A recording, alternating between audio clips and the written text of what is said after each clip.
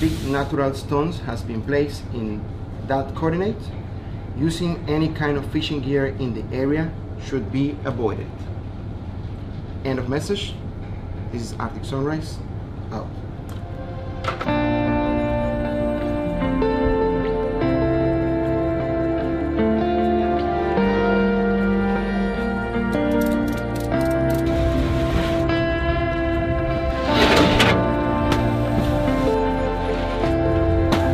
Placing large limestone boulders on the seabed to create a protective underwater barrier which will put the area off limits to destructive fishing.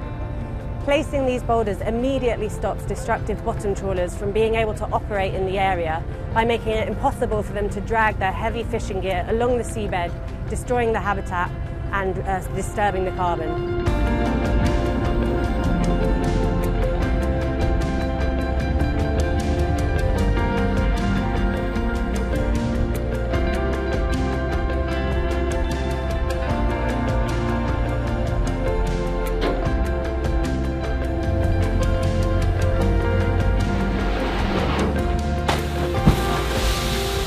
The UK has a network of marine protected areas that are protected in name alone. The vast majority, it's completely legal for industrial fishing vessels to fish there, remove vast amounts of sea life, and that is you know, destroying these habitats, destroying our fish stocks, and the livelihoods of uh, small-scale fishermen. So we need the government to ban industrial fishing from all of the UK's marine protected areas and they can do this very easily by tweaking fishing licences when they give them out at the end of this year uh, to put all of our marine protected areas off limits to destructive fishing.